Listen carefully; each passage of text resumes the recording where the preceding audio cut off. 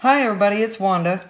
I just wanted to give you a little quick video, short video on how I tape up the back of my canvases. It's really easy, doesn't take but a minute. I use frog tape. For probably up to uh, 16 by 20, I would use this width, which is probably about an inch and a quarter. I put them a little of the way in. That's probably quarter of an inch or a little over. And I cut it at an angle. Some people cut them square. I cut mine at an angle, sometimes more of an angle than the other.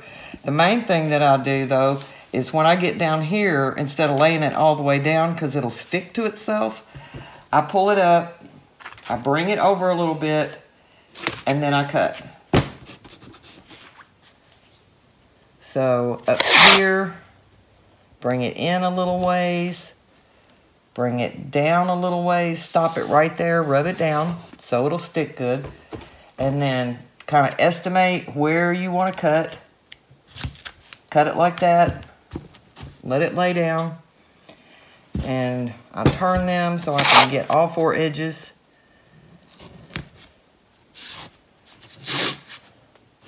That's it.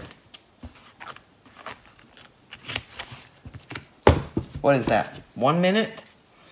Now, for this size canvas, what I do is use push pins. I get them at the Dollar Tree. I use them over and over, but I happen to have some new ones here. So, and I use a hammer because my thumbs have arthritis in them.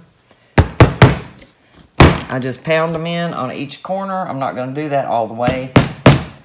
I try to hit right in the corner so that there's that seam there and they go down real easy. And that also helps to keep this piece of canvas right here on the corner down. If you get up here in the corner, it helps to keep it down so the paint doesn't run under it make it buck out. So just a couple of tips and just showing you how I tape up my canvas. Then after they're dry, they're so easy to pull off. Let's see if I've got one sitting here. All right, here's one that I like. I think I put it down here to varnish, or I put it down here to pour over because that ended up running, and I didn't like that part. So, sometimes I do this to get my push pin back out. Now, this has been on there for probably a month, but still, that's how good it looks. And then you don't have to mess with them. When you get ready to sell them, you just sign them and you're done. You don't have to paint them. You don't have to go back and mess with them anymore. I'm going to leave that because I think I'm going to pour over this one. And I just don't like spending any more time on the backside than I have to. Now, if I put a wire in one, I will go down just a little ways from where this top stretcher bar is, like about an inch or inch and a half, I put in an eye bolt, I put my wire through, I loop it through twice, and then I twist it around the wire. Then I go over here, I stick it in that eye bolt, I cut it about out to here, I put it through again, then I bring it up and I twist it again. Then I use tape, like an electrical tape, to tape those ends so nobody gets stuck on that wire.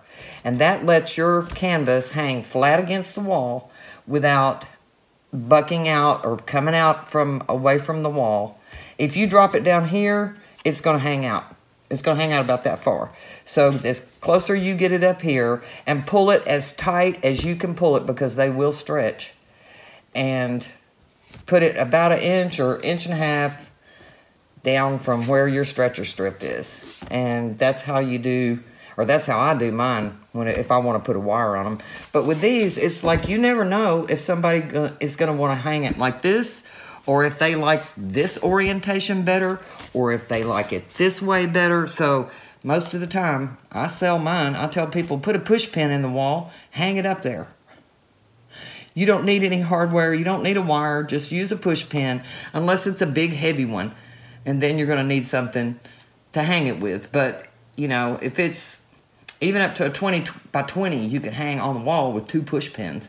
So that's what I tell people to do. I tell them you're not going to damage your wall by doing it that way. So I hope you have a good day. Hope you're having a wonderful day. And You come back and see me again sometime. Thanks for watching.